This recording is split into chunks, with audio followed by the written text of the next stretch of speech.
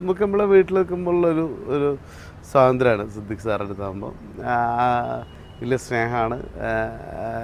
പിന്നെ എപ്പോഴും നല്ല സാറ് സാറ മുഖവും സാറെ സംസാരം കിട്ടില്ലേ അതേപോലെ തന്നെയാണ് സാറിന്റെ സ്വഭാവം.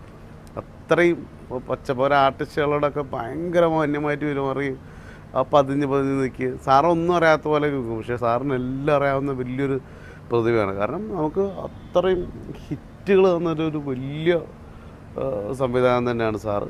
സാറിന്റെ പടത്തിൽ ഫുക്രിയിൽ അതും നല്ലൊരു വേഷമാണ് സാർ തന്നത്. അത് ശരിക്കും പറഞ്ഞാൽ ഒരു ഇടവേളയിൽ എനിക്ക് സാർ തന്നൊരു പുനർജന്മം എന്ന് തന്നെ പറയാം സാറിന്റെ കഥാപാത്രം. കുഞ്ഞാപ്പ.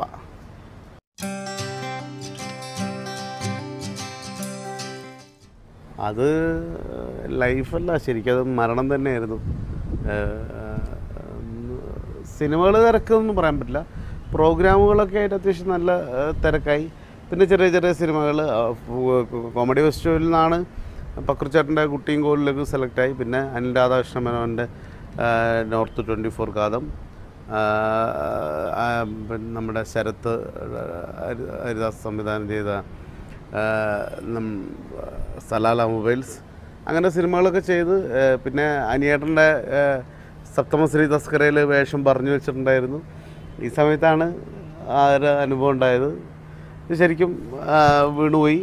വീണ ശേഷം ഒരുപാട് ആളുകളുടെ സപ്പോർട്ടും എല്ലാവരും കൂടെ വന്നു. വീണു കഴിഞ്ഞാൽ ആരും ഉണ്ടാവില്ല എന്നാണ് പറയുക എന്റെ കൂടെ എല്ലാവരും ഉണ്ടായി. ഭയങ്കര സപ്പോർട്ടായി. പക്ഷേ എണീറ്റ് കഴിഞ്ഞപ്പം പടങ്ങളൊക്കെ കുറവായിരുന്നു. കാരണം ഞാനൊരു വല്ലാണ്ട് മെലിഞ്ഞൊക്കെ പോയി.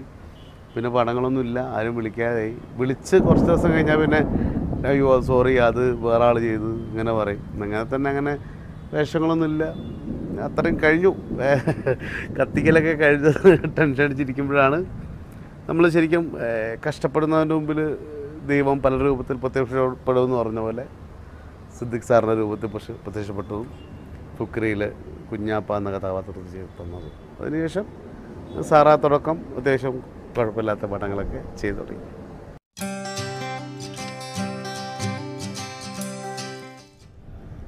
അല്ല അത് ഞങ്ങൾ ചെയ്യുന്ന കഥാപാത്രങ്ങളൊക്കെ അധികം കോഴിക്കോട്ടെ ശൈലിയിലാണ്. അപ്പം നമ്മളത് നമ്മുടെ നാടിന്റെ ശൈലിയിലെ സ്കിറ്റുകൾ സ്കിറ്റുകളിലാണ് കൂടുതലായിട്ട് ഞങ്ങളത് ചെയ്തത്.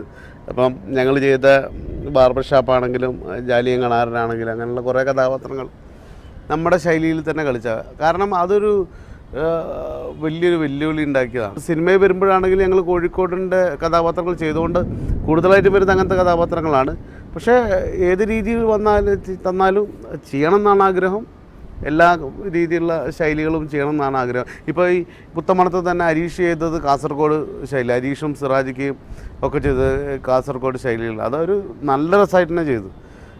അപ്പം അങ്ങനെ ഒരു രീതിയിൽ തന്നെ പോകണമെന്നല്ല എല്ലാ രീതിയിലും ചെയ്യണമെന്ന് ആഗ്രഹമുണ്ട്.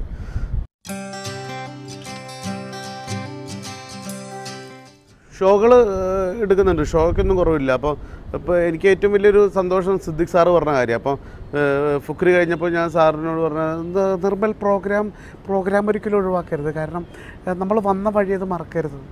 പ്രോഗ്രാം എന്തായാലും പോകണം അങ്ങനെ പറയരുത്. അപ്പോൾ ഒരു പ്രാവശ്യം ഫുക്രിയുടെ ലൊക്കേഷനിൽ എനിക്ക് ദിവസം പോകേണ്ട കാര്യം ഉണ്ടായി ബാക്കി എല്ലാവരും ചോദിച്ചു എടാ എന്താ ചെയ്യുക ഇന്നിപ്പം ഷൂട്ടിന്റെ കാര്യം എന്താ ചെയ്യാൻ പറ്റുമോ അപ്പോൾ ഞാൻ സാറോട് ചോദിച്ചു സാറേ ഞാൻ ഏറ്റ പരിപാടിയായിരുന്നു എന്താ ചെയ്യുക ആ തീർച്ചയായിട്ടും പോകണം നിർമ്മൽ പോകണം ഒരു വാക്ക് നമ്മളോട് ഒരു കാര്യം പറഞ്ഞ് ഏറ്റിട്ടുണ്ട് അത് പോയേ പറ്റൂ. അല്ലാതെ പോകാതിരിക്കരുത് അത് പ്രോഗ്രാമിന് മുൻഗണന കൊടുക്കും. സാറ് സാറ് ഭയങ്കര സപ്പോർട്ടാണ്. അപ്പം അത് തന്നെ നമ്മൾ ഇത്രയും കാലം ജീവിച്ചത് മിമിക്രിയാണ് അത് വിട്ടിട്ടുള്ള കളിയൊന്നുമില്ല.